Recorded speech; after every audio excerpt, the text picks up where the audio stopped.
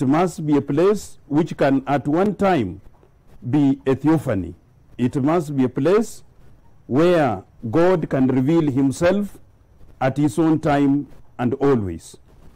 That it is, whereas it is a commercial place when you come to see it, it's also like that prison where they were when you come to see it, but it's a place where you can meet God.